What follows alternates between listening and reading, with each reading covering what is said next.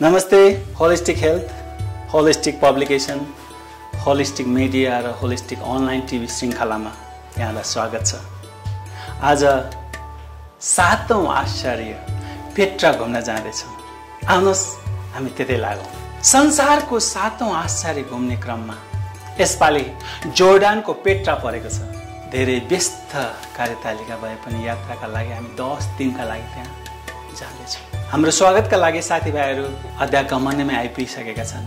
हाम्रो आजको बसाइ अम्मानको स्यान्डी प्यालेस होटलमा छ।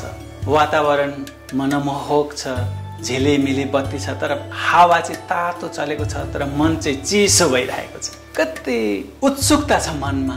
यतिखेर आँखाका अगाडि मरुभूमिमा सेतै भवनहरू र ससाना पहाडहरू साना साना पुच्च पुच्च निस्केको उकालो ओह्रालोका मरुभूमिमा भएका पहाडहरू अनुभव गर्न सक्छौँ। गाडीको हुइकाइसँगै त्यो झिलिमिली बत्ती पार गर्दै एक घन्टापछि हामी स्यान्डी प्यालेसमा चेक इनमा पुग्छौँ। भोलि बिहान सक्खारै सातमा पेट्राको भ्रमणको लागि तयार हुन्थ्यो। अझै सबैजनाको मनमा उत्सुकता नयाँ कुरा नयाँ तथ्य नयाँ विवरणहरू सुन्नको लागि लालायत थियौँ। अझै प्रत्यक्ष रूपमा हेर्नको लागि आतुर छौँ हामी हल्का स्थानीय जोर्डानिन खानामा हामी रमाउँछौँ। खबुज छोरमा विभिन्न प्रकारका स्थानीय सलाद ओलिभ विभिन्न प्रकारका त्यहाँ स्थानीय खाना अति नै मनमोहक छ देख्दै खाउँ खाउँ लाग्दो छ। अनौठो स्वादको अनुभूति भयो हामीलाई। हामी भोलिको लागि तयारीमा अम्मानबाट पेट्रा करिब तिन घन्टाको बाटो। समयमै पुग्छौँ हामी। भ्रमणको जुन तालिका छ त्यसको टिकटसँगै पर्यटक गाइडले सुरुमै आधा घन्टा ब्रिफिङ गरिसकेको हुन्छ। यसका ऐतिहासिक विवरणहरू महत्त्वहरू र यसलाई जुन प्रकारले व्यवस्थापन गरे त्यसको नीति नियमको बारेमा। र त्यसपछि हामी खाना खाएर हामी पेट्राको नजिक जानको लागि तयारी हुन्छौँ। चर्को घाम लागेको छ यति बेला। टन्टालापुर घाम छ। मरुभूमिको तातो तातो प्रकारको हावा चलेको छ। हावा उडौला जस्तो चलेको छ। छोरी मानिसहरूको केसहरू उडाउँछ भने विभिन्न त्यहाँका स्थानीय पहिरनका त्यो लुगाहरूले बाँधिरहेको छ। छोरा मान्छेहरू पनि त्यहाँका स्थानीय बासीले लगाउने स्थानीय पोसाकहरू लगाइरहेको छ ताकि त्यो गर्मी पनि नहोस् त्यो हावाले हाम्रो अनुहारलाई आँखामा नबिगारोस् अनुहारको आकृति नबिगारोस् भने एक घन्टाभन्दा बढी हिँड्नका लागि तयार। दायाँ बायाँ पुरा गुलाबी पहाडहरू छ। हिँड्नको छुट्टै मजा छ। हिँड्न नसक्ने मानिसहरूको लागि समूह समूहगत विभिन्न प्रकारको गधा घोडा दुई पाङ्रे रथहरू तयार गरिने व्यवस्थापन गरिएको छ। त्यहाँको वातावरण नै साँच्चीकै मनमोहक छ। ढुङ्गै ढुङ्गाका पहाडहरू खोज हुँदै जात्रा अगाडि बढ्दै हामी अगाडि बढ्छौँ। देख्दै गुलाबी पहाड छ। फोटो खिच्नका लागि बिच बिचमा हामीलाई गाइडले त्यो ठाउँहरू देखाउँदैछ त्यो विवरण बताउँदै त्यसको महत्त्व बताउँदै हामीलाई फोटो खिच्नको लागि त्यो पृष्ठभूमि बनाएर हामीलाई फोटो पनि खिचिदिँदैछौँ अगाडि बढ्दैछौँ निरन्तर प्राकृतिक रूपले बनेको विभिन्न सिंह जस्ता हात्ती जस्ता गरुड जस्ता विभिन्न आकार प्रकार आकृति देखिन्छ त्यो ढुङ्गाको। देख्दै मनमोहक छ। हिँड्दा पनि त्यत्तिकै आनन्द लाग्छ। सबैजना घर गर्ती फोटो खिच्दै गफ गर्दै गाइडको कुराहरू तथ्य विवरणहरू सुन्दै अगाडि बढ्दैछौँ। अब हामी यस्तो खोजबाट अगाडि बढ्दैछौँ कि ढुङ्गाको त्यो पानीले काटेर बनेको त्यो धर्सोको त्यो खोला जस्तो त्यो खोल चिजहरू ठाउँबाट अगाडि बढ्दैछौँ। आकाशतिर हेर्ने हो भने एउटा धर्को जस्तो देखिन्छ आकाशको आकाशको धर्को।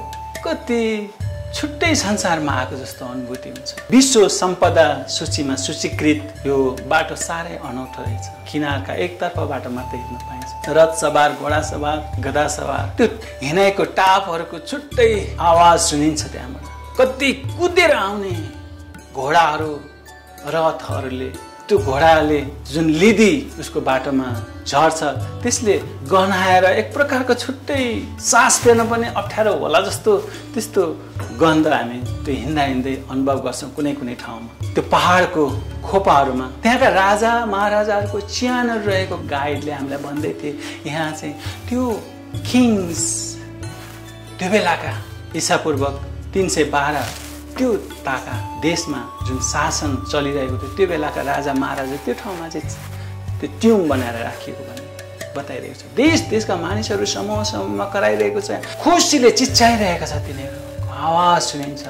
र हामी यसरी हिँड्दै जाँदाखेरि एकै लाइनमा लामदप्त गराउनलाई हाम्रो टिमलाई गाइडले अनुरोध गर्छ।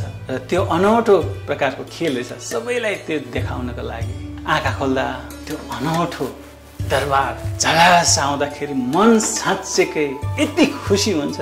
आँखा चिम्लेन लगाइयो लाइनमा। त्यसपछि एउटाले अर्कोलाई डोराएर मध्य ठाउँमा पुर्याउँछ र उसलाई केही कुरा भन्न लगाउँछ। म तपाईँलाई विश्वास गर्छु र मैले जे सुने त्यो कुरा तपाईँलाई सुनाउँछु र तपाईँले अर्को साथीलाई भन्न सक्ने हुनेछ भनेर त्यसरी शपथको रूपमा त्यो भन्न लगाइन्छ। र यो वाक्य भनेर आँखा खोल्न लगाइन्छ।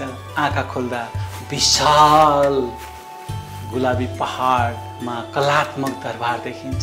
संसारमै परिकल्पना गरिएको त्यो ठाउँ त्यो आश्चर्य त्यही ठाउँ हो। द ट्रेजर गुलाबी दरबार। अल खजना त्यो गार्डन राखिएको त्यो बेलाको सम्राटले त्यो बेलाको राजाले संसार ध्वस्त हुँदाखेरि सम्हालेर सुरक्षित गरेर राख्ने सम्पत्ति श्री सम्पत्ति राख्ने ठाउँ the Al treasure Al Khazneh त्यो ठाउँ रहस्यको ठाउँ। अति मनमोहक छ। हजारौँ हजार मान्छेहरू त्यो ठाउँ हेर्नको लागि त्यो ट्रेजरी हेर्नको लागि लाइनबद्ध छन् र पालै पालो त्यहाँ हेर्दैछ कल्पना गरे भन्दा बेग्लै दृश्य।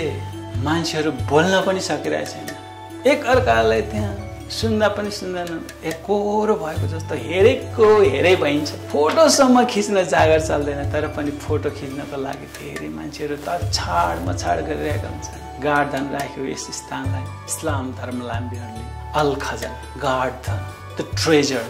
त्यसरी अब आधा घन्टा पाउने घन्टा हामी यो ठाउँलाई अनेक एङ्गलबाट हरेक त्यसको ठाउँ कुना काप्चालाई त्यसको पोइन्ट पोइन्टलाई टार्गेट राखेर निशाना बनाएर हामीले फोटो खिच्यौँ। पुरै त्यसको पृष्ठभूमि बनाएर हामी फोटो खिचेपछि गाइड र समयको बारेमा त्यो पोइन्ट नै द ट्रेजरी ऐतिहासिक त्यो ठाउँ नै त्यो गाइडको लागि अन्तिम ठाउँ रहेछ। समय र पैसा मेरो यहीँ सकिन्छ भनेर उसले हँस्यौली ठट्यौली गरेर भन्दैछ हामीले हाम्रो ग्रुपलाई। अब यस अल खजनाको प्राकृतिक र मौलिक स्थानबाट करिब पाँच किलोमिटर पर गुलाबी चट्टान अझै अर्को हेर्नको लागि जानुपर्नेछ। द डायर त्यो चाहिँ पहाडको सबभन्दा टुप्पोमा पर्ने। यो चाहिँ सबभन्दा खोजमा पर्ने हो। द ट्रेजर अझै पाँच छ किलोमिटर माथि गएर त्यो ठाउँमा भएको मुख्य चाहिँ त्यो कुरा हो। द डायर हामी द ट्रेजरलाई बाई बाई गर्दै गुलाबी चट्टानभित्रको त्यो खोजमा हामी अगाडि बढ्छौँ। यो अगाडि बढ्दै जाँदा विभिन्न हेर्ने ठाउँहरू छ। ग्रिसमा भएको त्यो ठुल्ठुलो इमारतहरू रोममा भएको इमारतहरूको सबै झसलको दिने कुराहरू चाहिँ त्यो भूकम्पको बेला लडेका कुराहरूको विवरण बताउँदै अब हामीहरू त्यो सल्लाहमा त्यो ठाउँमा चढ्नको लागि चाहिँ अब हिँडेर सक्दैनौँ। केही केही मान्छेहरू मात्रै बलिया मान्छेहरू मात्रै हिँड्छन् नत्र भने प्राय गदामा घोडामा चढेर जानुपर्ने। र हामीहरू पनि घोडामा चढ्यौँ कोही गदामा चढे र हामीले त्यो टायरको लागि माथि चढ्दैछौँ। ठुला ज्यान भएकाहरू घोडाहरूमा र साना ज्यान भएकाहरू गदामा चढेर हामी उक्लिने उक्लदैछौँ। शिख द टायर पुग्नको लागि। सिँढी उक्लिन्छ चिल्ला चिल्ला ढुङ्गाहरू गुलाबी ढुङ्गामा टेक्दै ती घोडा गदाहरू अप्ठ्यारो हुँदै अगाडि बढ्दैछौँ हामीहरू। त्यो सिँढीहरूमा चढ्दैछौँ। यति बेला दिउँसोको घाम ओइलाउन थालिसकेको छ। छोरी मानिसहरू अगाडि लम्किसके साना साना गदाहरू धेरै अगाडि पुऱ्याइसके। कराइरहेका छ चिच्चाइरहेका छन् खुसीले गदगद भइरहेको अनुभूति हुन्छ। सबैजनालाई म पनि बिच भागतिर छु। कति साथीहरू पछाडिबाट आउँदैछ। पछाडिका साथीहरूले भनिरहेका छन् पर्ख है। हामी पनि आउँदैछौँ भनेर एकदम खुसीको मुद्रा उनीहरू हल्ला गरिरहेका छ हल्ला मचाइरहेका छन्। ठुल्ठुला आवाजले त्यो पहाड नै कम्पन भइरहेको छ त्यो आवाज गुन्जायमान भइरहेको छ। कति खुसी लाग्दो कुरा छ। यो ठाउँलाई अरबकै सबैको राजधानीको रूपमा चिन्दा रहेछन्। त्यो बेला ग्रिक भाषामा पिट्रो भनेको पिटर अथवा चट्टान भन्ने रहेछ।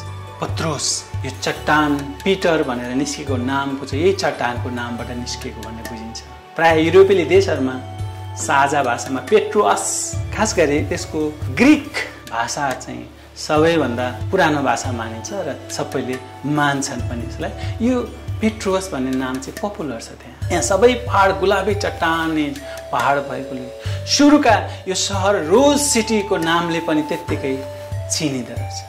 तिन सय बाह्र बिसीमा पेट्रा नबताइन्स भन्ने एउटा सम्राटले बनाएको त्यसलाई व्यवस्थापन गरेको भएर नबताइन्स भनेर पनि चिनिने ठाउँ यो रोज सिटी। त्यस समयमा सम्पूर्ण जति पनि अहिलेका नयाँ पोलिटिकल म्याप अनुसारका राज्यहरू छ देशहरू छ त्यो देशहरूकै राजधानीको रूपमा प्रचलित थिए तेस्रो शताब्दीमा जोन हुडिगले यो सहर को सौन्दर्य र ऐतिहासिकता पत्ता लगाएपछि फेरि प्रवर्धन समेत गरेका थिए भन्ने त्यो तथ्यहरूले बताउँछ। अहिले पनि विश्व सम्पदा सूचीको एउटा महत्त्वपूर्ण स्थलको रूपमा रहेको यस ठाउँमा वर्षेनी लाखौँ लाख विदेशी पर्यटकहरू यहाँ आउँछ। पेट्रा सन् दुई हजार सातमा सबैभन्दा बढी भोट पाएर विश्वको नयाँ सातौँ आश्चर्यको सूचीमा परेको ठाउँ हो पेट्रा। समूह समूहमा हामी उकालो चढ्दैछौँ। त्यहाँ पुगेर झर्नेहरूको ओह्रालोको लस्करहरू त्यो झुन्ड समूह समूहहरू पनि त्यत्तिकै छ। कति हट्टा कट्टा जवानहरू घोडा गरा चढ्नेहरूलाई जिस्काइरहेको छ। हिँड्न त यसरी पो पर्छ। उक्लिन त यसरी पो पर्छ भनिरहेको छ। एकले अर्कालाई हौसला दिइरहेको छ गिल्ला गरिरहेको छ हाँसोको वातावरण सिर्जना भइरहेको छ। अगाडिका साथीहरू चाँडै आऊ है भन्दै अगाडि पुगेको आवाज छिटो छिटो आऊ छिटो छिटो हिँड छिटो आऊ भनिरहेको आवाज सुनिन्छ। पछाडिका साथीहरूले त्यो घोडालाई गरालाई चाबुक हालेर चाँडो अगाडि बढ्नको लागि चाबुक भनेको चाहिँ त्यो घोडालाई बिचकाएर अगाडि छिटो हिँड्नको लागि गति बढाउनको लागि प्रयोग गरिँदैछ चाबुक पछाडि हानेर अगाडि बढाइरहेको देखिन्छ। दायाँ बायाँ अगाडि पछाडि असिन पसिन्छ सबैजना हिँडेर पुग्ने नसक्ने त्यो बाध्यताको कारण पनि हामीले त्यो सवारीहरू प्रयोग गरिरहेका छौँ। मानिसहरू ठुलो आवाजले गर्दा देख्दा देख्दै एकजनालाई त मेरै अगाडि भित्तामा लगेर पछाडि हाल्यो। झन् त्यो मान्छेलाई दुखाइ परेको होला तर अगाडि पछाडि हिँड्ने मान्छे खेलिले ढुक्का छोडेर हाँसिरहेका थिए? अब उठ्नुहोस् उठ्नुहोस् भनिरहेको थिए। कसैले उसलाई सहारा दिएर उठाइरहेको थियो। अति कम त रमाइलो थिएन त्यहाँको वातावरण। फेरि उठेर फेरि अगाडि बढिरहेको छु। हामी जाँदैछौँ उक्लिँदैछौँ। डायर त्यो गन्तव्य डायरतिरको पहाडको त्यो चुलीमा पुग्न लाग्दैछौँ। त्यो गुलाबी चट्टानको त्यो दरबार मुख्य दरबारमा पुग्न लाग्दैछौँ। मिश्र देशबाट मोसा लाल समुद्र पार गरी यहाँ आइपुग्दा यो भाग पुरै जलमग्न थियो भन्ने भनाइ छ। विभिन्न ऐतिहासिक तथ्यहरूले बताउँछ। र यो ठाउँलाई पानी काटेर यो चट्टान काटेर पानी बाहिर निकालेर यो ठाउँलाई ओबानो भूमि बनाएको भन्ने कुरा छ। त्यसपछि विश्वास गरिन्छ। किनभने यहाँ नजिकैको एउटा वादी मुसा भन्ने जुन इमारत छ ठुलो इमारत छ त्यो इमारतले पनि के देखाउँछ भने मुसा भनेको चाहिँ अरबी भाषामा मोसा मोजेस भनेर चिनिन्छ। र पेट्टाको अगाडि यो ठुलो इमारतले पनि यही कुरा बताएको छ। करिब साठी वर्ग किलोमिटर क्षेत्रफलमा यो पेट्रा पुरै गुलाबी चट्टानले बनेको कति आनन्दको कुरा छ। र त्यही मुसा हो त्यही मोजेस हो जसले क्रिस्चियन धर्मावलम्बीको लागि एउटा दस आज्ञा भन्ने त्यो आज्ञा दिएको कुरा परमेश्वरबाट त्यो आज्ञा दिएको त्यही मुसाको नामबाट यो चट्टान यो ठाउँ यो परिवेश भएको भने ऐतिहासिक कुराले गर्दा ट्रेजरी द डायरको महत्त्व नै ठुलो छ।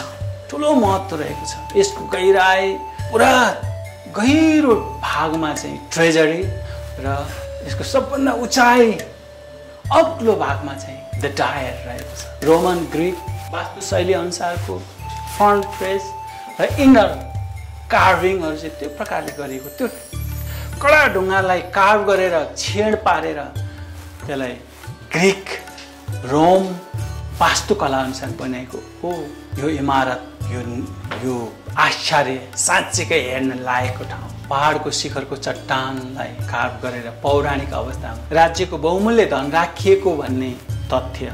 र त्यसपछिका राजाहरूले जो शक्तिमा आए उनीहरू मरेपछि पनि त्यो डाँडाहरूमा ट्युनको रूपमा प्रयोग गरिएका ठाउँहरू अझै पनि देख्न सकिन्छ। त्यो ठाउँलाई पस्न अहिले सर्वसाधारणलाई निषेधित गरिएको छ।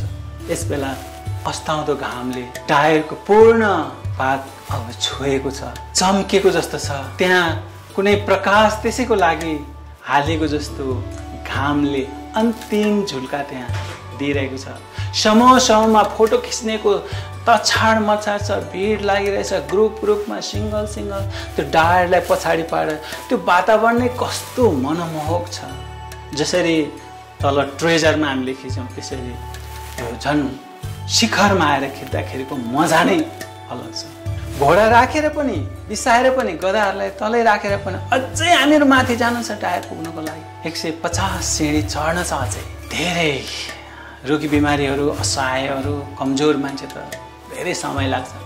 तैपनि जवानहरू पाँच सात मिनटमै त्यो कट्न सक्छ र त्यहाँ पुगेपछि आनन्द त्यो खुसी त्यो छुट्टै प्रकारको त्यसैले भनिन्छ यहाँको लोकल भनाइ के छ भने कम अर्ली स्टे चाँडै आउने यो ठाउँमा र अबेरसम्म बस्नु है घाम नडुब्दासम्म बस्नु है भन्ने भनाइ छ। त्यो कारणले गर्दाखेरि हामीहरू बस्न त मन थियो तर हामी फेरि अर्को ठाउँमा पुग्न छ। वादिरम भन्ने ठाउँमा आज रात बिरात गरेर पुग्नु छ। अलिक अबेला भइसकेको छ। घामको अन्तिम उपस्थितिभित्रै डायरकोलाई नेपथ्य बनाएर हामीले पनि पेट्राको अन्तिम दृश्यलाई क्यामेरामा कैद गर्दैछौँ। अब धेरै छैन घाम ढल्किन ढल्किन लागिसकेको छ। अब जसै घामको किरणले डायरलाई छोड्यो त्यो प्रकाश अब कटेर गयो त्यो किरणले छोड्यो अब डायरलाई। अरू देशहरूभन्दा फरक पर्यटन प्रणाली पर्यटन व्यवस्थापन अध्यागमन व्यवस्थापन हरेक अलग्गै छ यो ठाउँ। पौराणिक र ऐतिहासिक आधारमा पनि यो आश्चर्य यो पेट्रालाई संसारकै अनौठो संसारकै फरक प्रकारको आश्चर्यको रूपमा लिइन्छ। यात्रा पेट्रा जसै डायलाई घामको किरणले छोड्यौँ हामी पनि पेट्रालाई छोड्दैछौँ। आजलाई हामी पेट्रालाई यहीँ छोड्दै हामी अर्को गन्तव्य लाग्दैछौँ। आजलाई यति नै। पेट्रा हामी सबैको लागि खुसी जसै घामको किरणले सँगै हामी पेट्रालाई छोड्दैछौँ अर्को गन्तव्यको लागि हामी जाँदैछौँ। संसारको सातौँ आश्चर्य पेट्रा हामी सबैले हेर्नै पर्ने जिन्दगीमा एकपल्ट जानै पर्ने ठाउँ। आजलाई यति नै फेरि भेटौँला। नमस्ते।